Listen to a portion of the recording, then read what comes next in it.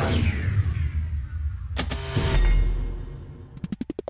Hey guys, John here with somewhat disappointing news about Super Smash Bros. Ultimate. On a panel at Fan Expo Boston 2018, Snake's voice actor, David Hayter, was asked how he feels about reprising Snake in Smash. And while Hayter is excited for the role, he says he's disappointed that he hasn't been asked to record any more codec conversations, and says he'll do one for every single character given the opportunity. And while there's a chance he's simply holding back information, David Hayter was not asked about codec conversations in this Q&A. The whole topic was brought up by himself. And there's a few things to address before we start getting in our Metal Gears and destroying the world. First, the game hasn't gone gold yet. There should roughly be around 8 weeks of development left, which should be enough time to get both the English and Japanese actors for Snake to record their lines. Second, the lesser option is to reuse lines from Brawl as all the characters from that game are here.